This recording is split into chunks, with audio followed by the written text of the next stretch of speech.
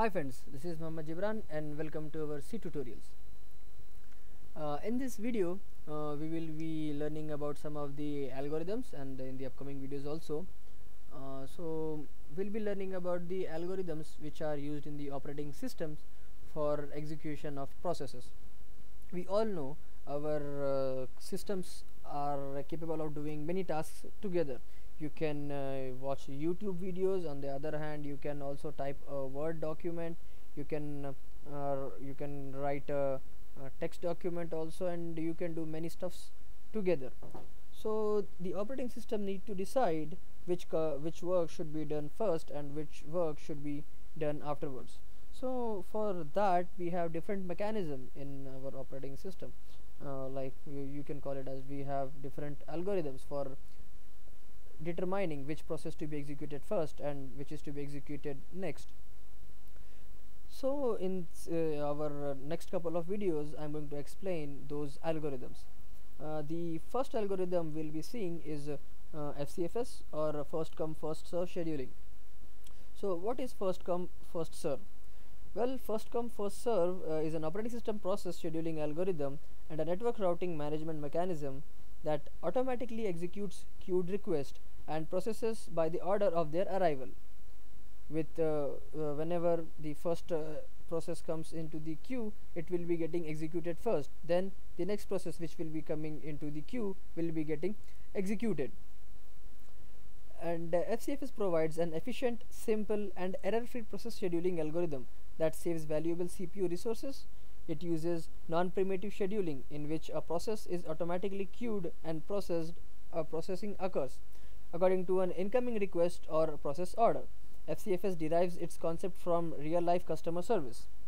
Uh, well, whatever I said just now, if that does, does not made uh, sense to you, so let me explain you with an uh, example. Suppose this is a queue and uh, uh, these customers are waiting uh, for a service or for any response from this operator. Okay in, in our case we'll call this operator or this server as the uh, processor. And these are the processes which wants to get executed on a particular system.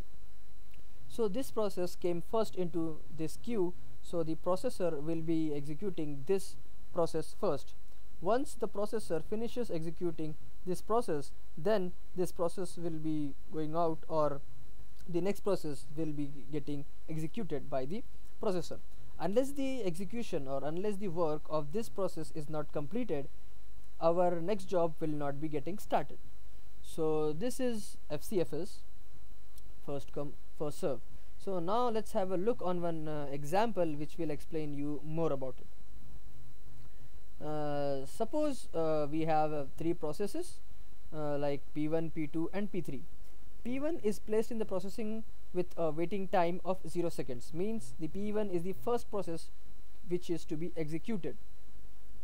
And 5 seconds is for uh, is taken for its execution. Like it means that the time taken by this process is 5 seconds. It needs 5 seconds to complete its execution or you can call it as burst time or execution time both are one and the same so when the execution time of P1 is 5 seconds, it means that P2 process will definitely have to wait 5 seconds to get executed.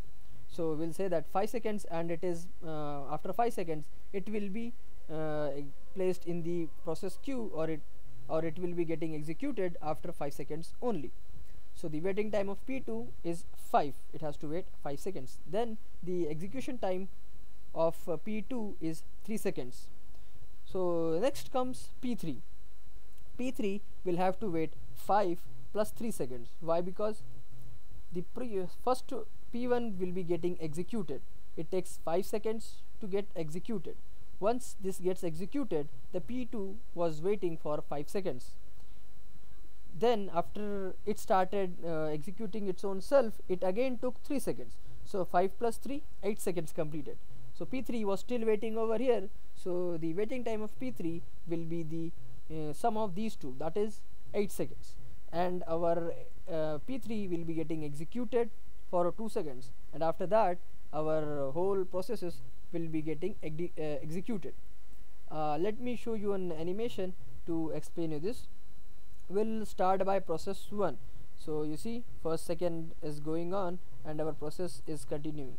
Now we are into the second. Now this is the third 3 milliseconds time completed 4 milliseconds. And then we have the last one that is 5 milliseconds. Once this 5 milliseconds time completes the P1 process has complete completed.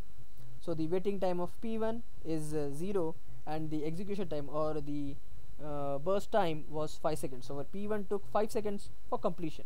Now next one will be P2 so now let's start P2 now our P2 will start after 5 5 milliseconds. Okay. So now this is 6 7 and uh, so on 8 now once this P2 stops executing you can see the waiting time of P2 was 5 seconds now we have we are done with P1 and P2 now what is left is P3 so now let's uh, start working with our P3 process.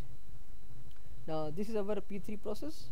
See 10 and uh, when the 2 sec milliseconds will be getting uh, finished you can have your all the three processes completed. Uh, what you are seeing over here this uh, diagram is known as Gantt chart uh, which will give you the waiting time and the execution time of the uh, any process. So the waiting time for P1 was 0 seconds waiting time for P2 was 5 seconds waiting time for P3 was 8 seconds. Why? Because uh, the execution time of this process plus execution time of this process will be the waiting time for this process. So the average waiting time will be 0 plus 5 plus 8 by number of processes. That is 3 so when we divide it we get 4.33 so this was a brief introduction to FCFS in the next video we will be writing an um, a program a C program to implement this algorithm. Hope you understood the algorithm and thanks for watching